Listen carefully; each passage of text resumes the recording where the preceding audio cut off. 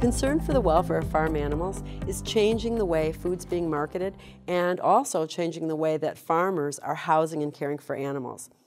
The research that my students and I conduct is used to inform uh, new policies and new practices that farmers adopt. It ranges from using animal behavior and animal preferences to measures of health and physical well-being, and this provides a balance for decision making on animal care. One of the most exciting aspects of my research is the fact that much of it gets applied almost directly into policy. And this is probably one of the most rewarding aspects of it when I see my students' publications um, referenced in codes of practice or animal care guidelines, or I hear about farmers adopting new practices because of our research results. And this happens all the time.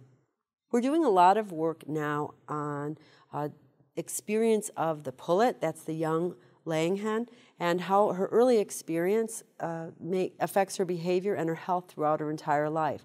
This might be providing access to exercise or environmental enrichment. We're even going back prenatally and looking how the experiences of her mother affect her behavior.